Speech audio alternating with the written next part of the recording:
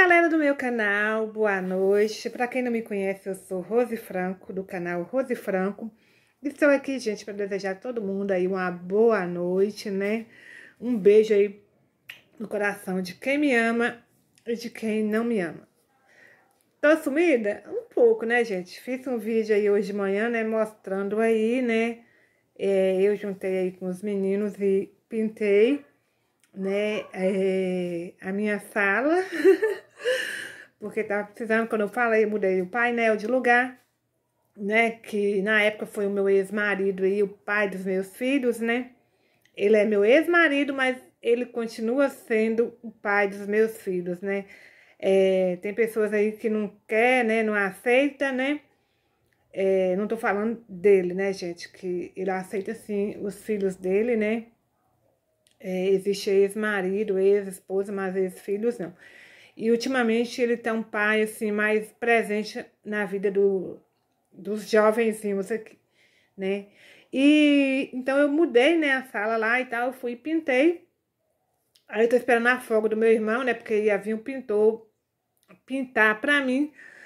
Só que, tipo assim, gente, o pintor que vinha pra mim é o pintor dos meus patrões, né? Ele me cobrou é, 150 reais para pintar uma sala. Uma sala me cobrou. Então, aqui são duas salas, três quartos, banheiro, né? Para pintar a cozinha não precisa. Então, quanto não ia sair? Então, o meu irmão, no dia de folga, que ele tirou uma folga, ele vai vir aí pintar para mim e eu vou dar para ele um valor, né? Merecido, né? Que ele merece, que vai sair da casa dele e vai vir aqui pintar para mim. Né? Então, assim, é, vocês viram aí que eu pintei. Ah, gente, lembrando aqui, é que fica um mimimi por aí, um mimimi, quachá. É, quero lembrar aqui, né, para quem me assiste aí, ou algumas pessoas que têm dúvida, é, eu fiz três anos de separada agora, dia 6 de novembro. E até dia 6 de, de novembro de 2000 e, no caso, 20, 2020, eu era casada. É, meu, meu ex-marido morava aqui dentro da minha casa. Até o dia 6 de novembro de 2020, né? Então, se passaram aí três anos, né? Então, lembrando aqui que eu não era separada dele e nem ele era separado de mim, né? A gente é, ainda somos casados ainda no papel, né? Mas hoje não somos aí casados de corpos, né? Mas até o dia 6 de novembro, há três anos atrás, né? Até mais ou menos às 8 horas da manhã, 9 e meia, 8 e meia, 9 da manhã, é, dessa data aí de, acho que foi na terça-feira, não me lembro, de 2020, é, eu era esposa e ele era meu esposo. A partir dessa data, não mais, tá bom? Só para tirar as dúvidas aí de algumas pessoas, né? Quem tem dúvida, né? Então, dia 6 aí agora, né? Fez três anos que a gente, né? Se separou de corpos. Não se separamos, não nos separamos ainda judicialmente, viu? Mas lembrando aí, é, nem eu era solteira, e nem ele era solteiro, né? Então aí, quando a gente separou, ele foi viver a vida dele com quem ele quis viver e eu tive me, é, namoro, cheguei a morar com, com a pessoa que você sabia que é o Cláudio, que era de Curitiba, que acabei conhecendo Curitiba, que continua sendo meu amigo. Não fui embora para Curitiba porque eu acreditava, né? Que eu não ia me adaptar a Curitiba e que meus filhos também não. Eu e o Cláudio hoje, ó, beijo Cláudio se você estiver assistindo. Somos amigos, a gente se fala até hoje. Eu falo com a mãe dele é, até hoje, dona Josefa, uma pessoa maravilhosa. E quem sabe aí o destino, né? Um dia aí, né, a gente se encontra, né? Diz que até as pedras se encontram. Eu tô aí, né, é, num relacionamento novo, novo que já tem alguns meses e hum, prefiro deixar mais em off. Se for para ser, vai ser. Se não for, vida que segue, Mas eu queria só abrir essa pauta aí, né? Que é, eu não era separada do meu ex-marido, nem meu ex-marido na época, né? Até o dia 6 de novembro aí de 2020, a gente era um casal com vida ativa totalmente normal. Tinha aí nossos altos e baixos, né? É, veio aí, né, a separação, porque não estava dando certo, mas éramos casados sim, somos casados ainda, né, até que saiu o divórcio. Então, lembrando aqui que eu comprei, para me colocar ali na parede da sala, esse quadro, que temos ali, mas eu falei que ia comprar outros pela Shopee, vai demorar a chegar, mas aí, por enquanto, eu coloquei esse Coragem, Sorte, e fé. Fé. Sempre temos que ter fé. E coragem. E com coragem e fé, a sorte vem. Tá bom, gente? Olha, muito obrigada aí pelo carinho, entendeu? É, não tô aqui criticando ninguém, não tô aqui falando mal de ninguém. Só tô fazendo aqui um esclarecimento, né?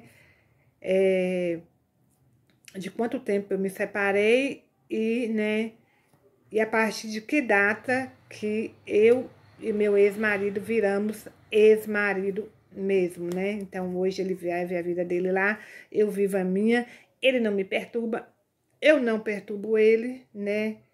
Eu, as, os jovens hoje, quando querem ir até ele, vão até ele, tenho contato com ele quando querem ter, entendeu? É, como são jovens, então assim, é, nem eu fosse, nem ele fossa.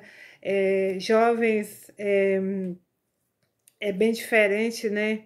É, lidar com jovens é bem complicado. Não vou falar que tem dia que eu estranho, né? É, que, tipo assim, conviver com eles, criança, é uma coisa, com jovem é outra. Não fazem nada de errado, graças a Deus, mas de vez em quando faz umas pirraças, é normal, né? Mas estamos aqui firme e fortes, eu, mãezona, né? Sempre estou aí cuidando. O Pedro Henrique terminou o curso dele aí, é, né? Que eu vou até mostrar aqui depois o certificado. Hoje, eu, depois do curso, eu pago a academia para ele. Falei que eu vou pagar uns seis meses de academia o ano que vem, início do ano, ele começa a trabalhar aí, né, como jovem aprendiz pela empresa que eu também trabalho, que não vou falar o nome aqui agora, né, já tá aí com sua vaga garantida dentro da empresa, né, como funcionário, né, graças ao curso de informática que ele fez, né, vai ajudar bastante. É, e é isso aí, meus filhos é, estão bem, eu também estou bem. Estamos tentando tirar um tempo para voltar aqui para as redes sociais. Quero deixar um beijo aqui para o Kleber Ruffer. Quero deixar um beijo aqui para todos os meus seguidores, tá bom?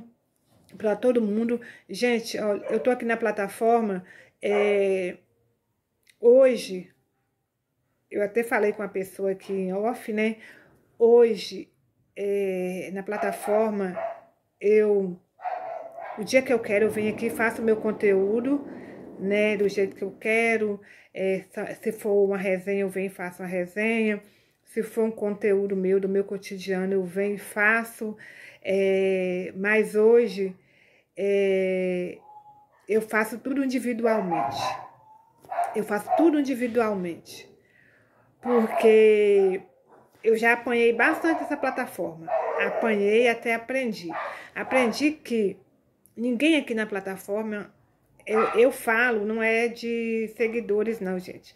É alguns youtubers aqui, algumas, né, é, pessoas públicas da plataforma, que elas são suas amigas, seus amigos, só até o momento que eles querem, que interessam a eles. Não estou falando de mal de ninguém, eu estou falando do que eu vivi com colegas aqui da plataforma, né? Eu, Patrícia Oliveira, é, chegou um ponto da gente é, entrar em tretas, né, Patrícia? Nós entramos em tretas que não era nossa aí com a é, Vanilda Pereira, eu entrei numa treta com a Vanilda Pereira, até comentei aqui no áudio pessoa, na época eu me meti num, numa treta com a Vanilda Pereira, defendendo uma pessoa e acabei é, sendo uma da pro protagonista do rolo todo, eu e a Patrícia Oliveira. Então, mais ou menos três anos atrás, então não vou citar o nome de, de quem foi envolvida na época, mas uma delas foi a que eu gosto muito. Um beijo, Érica, que de vez em quando ela me assiste, Érica do Tanquinho. Aí nessa confusão entrou a Alin Silva, nessa confusão entrou a Alin Silva, Vanilda, a, a Letícia Noura, que é a, a filha da Vanilda, a Patrícia Oliveira. E no final eu me senti prejudicada eu me senti assim, fui defender uma pessoa e acabei, é, tipo, sendo, como se fala aqui na época, eu acabei, fui defender uma e acabei entrando para defender a outra, e a segunda que eu fui defender, que me colocou no fogo, e tipo, quis virar o jogo, ela boazinha, eu e as outras ruim, como a, a, a Vanilda, a minha amiga Patrícia Oliveira. Então, eu aprendi e hoje é, eu prefiro caminhar sozinha aqui na plataforma. Fora da plataforma, eu escolho a dedo né? Com quem eu ando. Na minha casa é, é eu e meus filhos e mais ninguém. Nem namorado não é de vir na minha casa. Então eu aprendi a confiar em mim. Então, Kleber, é, eu acho que para você, é, essa amizade, principalmente aí com Dona Rúbia, é, te provou que a dona Rubia praticamente ela não é amiga, ela não é amiga de ninguém. Provou que ela é narcisista, né? Que a filha dela falou que ela é narcisista, então, na verdade, ela é uma grande narcisista. Ah, não pediu para divulgar é, vídeos e não é, nada, nem o canal dela. Mas ela vive disso aí, ela vive de divulgação, ela vive que você vem aqui, que eu venho aqui, falo dela. Aí uma pessoa que não é do canal dela fica curioso, vai lá e vai assistir, não é isso? Quando ela pediu pro Kleber é, divulgar lá o vídeo do Tonho falando da Márcia, ela pediu pro Kleber, ela mandou o vídeo pro Kleber, né? Em primeira mão pro Kleber divulgar. Então, ela pediu sim Aí depois ela manda um áudio falando cada um com seus problemas. É isso aí, Kleber. Então, né, como você mesmo falou lá, é, você foi um, vamos dizer, como você mesmo disse, nas, tô falando nas minhas palavras, você foi um bobo, um, acabou sendo um besta usado e você sabe que eu tenho um carinho muito grande para você e um trouxa, né? Porque ela aproveitou de tu também já fizeram isso comigo, já aproveitaram de mim, né, em algumas situações, né, mas isso aí serve de experiência pra gente, né. Hoje aí você sabe com quem você lidou, é, que no caso ela te usou, né, de alguma forma, e continua usando outras pessoas por aí, e muitas vão cair na real a qualquer momento. Ó, um beijo no coração de todo mundo.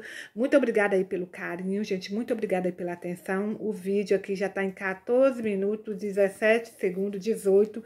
Já tinha um bom tempo que eu não fazia um vídeo assim tão grande, né? Mas deixando algumas coisas aí claras. E também aqui, né, é, vendo a live do Kleber Ruffer, aconselhando ele. Ande sozinho. Siga em frente sozinho, não pare com seu canal. Mas observe hoje em dia quem são seus verdadeiros amigos. Um beijo, gente. Tchau. Boa noite.